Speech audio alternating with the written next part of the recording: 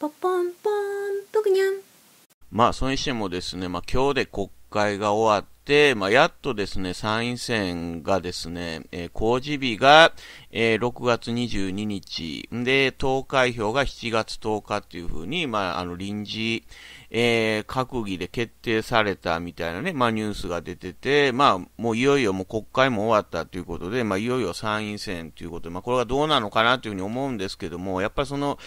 まあ、争点っていうかね、やっぱり何が争点っていうか、まあ、有権者に対して、まあ、各党が何を訴えるのかなっていうのはすごく、まあ、僕は気になりますし、やっぱりその僕なんかの関心っていうのは、やっぱその物価高、これ野党がね、えー、言ってますけど、やっぱその、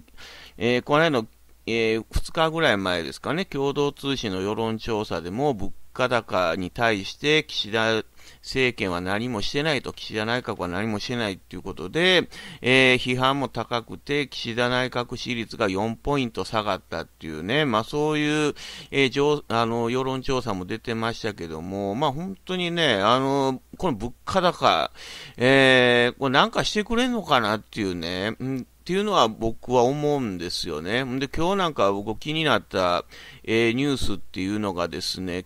えー、6月に支払われる年金っていうのがですね、前の年と比べて0.4%減額するというニュースが、えー、これ FNN プライムオンラインにも出ててですね、今日から減額されると。えー、6月受給分の前、受給分がマイナス0.4%ということで、物価も上がってんのに年金は下がるっていうね、まあ、その年金頼みの人たちっていうかね、まあ、まあ、って言ったら高齢者になると思うんですけど、65歳以上なんですかね。いや、に、の方たちにとってはですね、僕は 少なからず僕影響あると思うんですけど、これどう見てはるのかなっていうのを僕はちょっと気になりましたね。で僕は、ね、年金っていうのは物価スライド制で物価に応じてですね、支給額も、まあ増えるっていうようなことを、なんか前、なんか聞いたような気するんですけども、え、なんで物価高が上がっ物価が上がってんのになんで年金の額が減るのっていうのがすごく、なんかおかしいというかですね、まあこれも生活に直撃するわけですから、まあだから物価、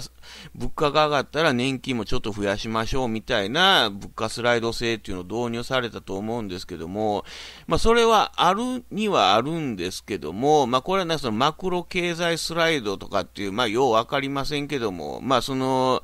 えー、なんていうんですか、現役世代の現役世代がですね、まあ、少なくなってきたから、あの、まあ、それで結果的になんか減るっていうことみたいですね。で、ここまで知ってた人ってどれくらいおんのかなっていうのは僕はちょっと思いましたね。ほんまなんかあのー、なんていうんですか、契約書にですね、細かい文字が書いてたりとかして、まあそんなんは別にね、僕らなんかほとんど読ん、隅々まで読んでる人っていうのはね、まあ弁護士とか、えー、法的な関係の方以外はですね、いないと思うんですけど、なんかそういうのと似たようなね、えーっていうね、あの、なんでその物価が上がるのに年金が下げられんのっていうのはすごく、あの、まあ、ここもやっぱり参院選の争点っていうかね、やっぱおかしいっていうことを言っていかなあかんのちゃうかなっていうふうに、まあ、思いましたね。まあ、テレ朝のニュースではですね、年収300万円未満は年間6万円負担増と。これはもうね、あの、物価高でね、えー、年間6万円負担が増えるっていうことで、まあ、これ本当あのー本当ね、年金頼みの方とかね、もう僕みたいな、あの、そんなお金持ってない人に対してはですね、かなりきついっていうふうになってると。で、ほんなら、その国としてね、これ日本の、日本国としては、お金がないのかっていうと、いや、全然そうじゃなくて、ま、真逆のですね、過去2年連続税収、国の税収っていうのは、過去最高になってるんですよね。いや、だったらその還元せえよって僕は思うんですけども、まあそうはならないっていうとこ、ことに対して、あのー、なんかおかしいと思う人っていうのはいないのかなっていうのが僕はちょっと疑問に思ったとこですね。えー、21年度の税収が過去最高ペース維持してて、4月末時点で56兆円と、まあ、いうことで、まあ、国の税収はですね、もう、すごい、あの、増えてるんですよね。まあ、それはもう消費税をね、10%にしたからっていうのもあると思う、あると思いますし、いや、だったら、その消費税だってね、まあ、の、福祉、福祉に使うとか言って、ってるわけでね、まあまあ実際はそうじゃないんですけども、いやだってちゃんと還元せよっていうね、せめて負担増っていうかね、こう生活年収300万円未満の方は、えー、年間6万円負担増になるってね、いう、まあ資産が出てるわけですから、だったら給付金10万円ぐらいね、その300万円未満の方たちに配ってもね、全然バチ当たらんと思うんですけどもね、負担増のね、6万円でも、せめて配れよっていうふうに僕は思いましたけども、まあ、これがね、もう本当参院選、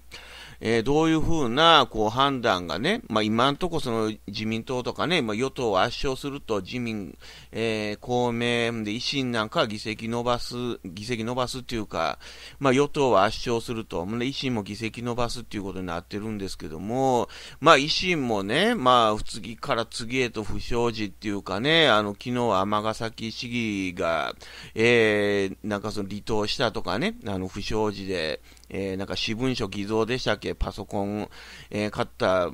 ものを、あの、なんか偽造してたと、実質的にっていうことで、そういうのニュースもわーっと出てましたけども、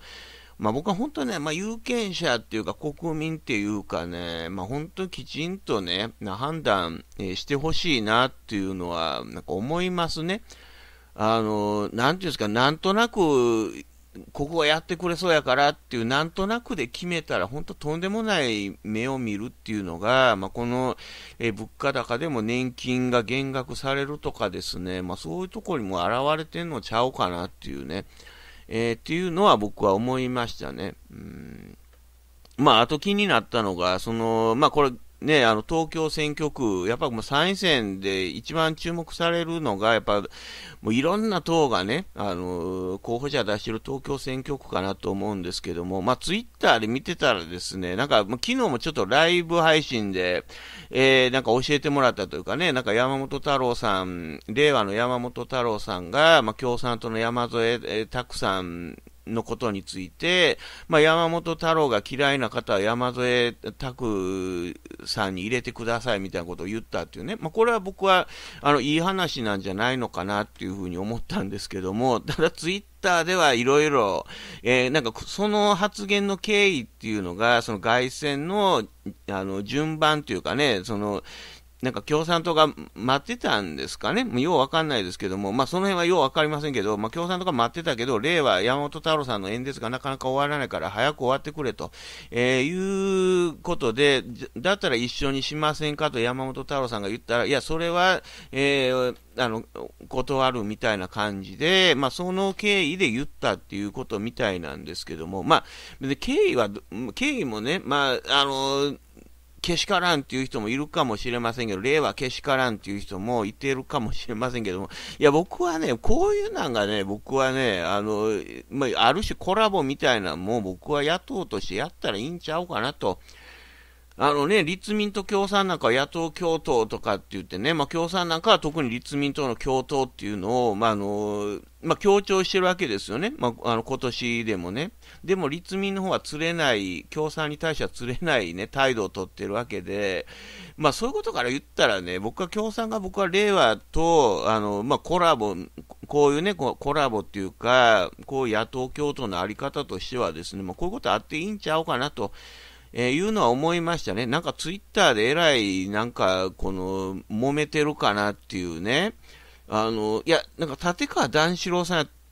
だったと思うんですけど、なんか、いや、褒めてたんですよね。まあ、令和と共産の、えー、こういうね、あの、一緒にやるっていうのもいいんじゃないのかな、みたいなのを書いてるんですそこに対しても、あの、なんか、令和けしからんみたいなね。で、令和の方も共産も何言ってんだ、みたいな感じで、なんか揉めてるっていうのが、ちょっと僕はね、なんか残念かなっていうかね、いや、本当は相乗効果考えたら、まあ、情勢調査でもですね、山本太郎さんが出馬表明した後に、えー、共産党の山添拓さんがね、順位がえー、上がってるっていうのもあったわけですから、まあ、僕はここで割を食ってんのは、僕は立憲民主党の2人目の方かなと思うんでね、だから令和と共産では僕は、あの、そうは被ってないというか、相乗効果でも増える可能性もあるのかなっていうふうに思ったんでね、まあ、ここも、まあ、頑張ってほしいなと、東京選挙区ね、っていうのも、あの、思いましたけどもね。チャンネル登録よろしくね。